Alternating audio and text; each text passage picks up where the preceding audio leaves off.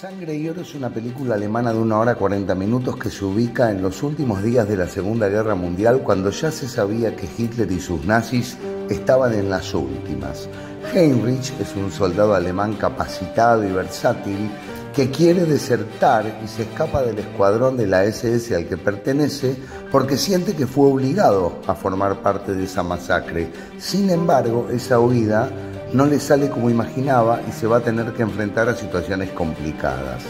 Mientras esto sucede, la unidad de la SS no se resigna y entonces, para salvarse de por vida, revuelven cielo y tierra en el pueblo de Sonneberg para encontrar un tesoro en oro que ocultó una familia judía antes de que la asesinaran.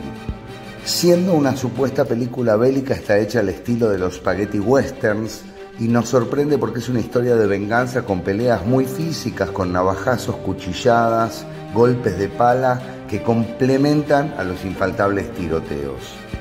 De muchas formas distintas hace un homenaje al western desde lo absurdo en un contexto que nada tiene que ver con el lejano oeste americano y se apoya en una gran producción, una magnífica fotografía y recrea de alguna forma el estilo de Tarantino en cuanto a las escenas de violencia. Interesante aunque no brillante, con más acción y violencia que diálogos, mi calificación para Sangre y Oro es de 4.3 moscas.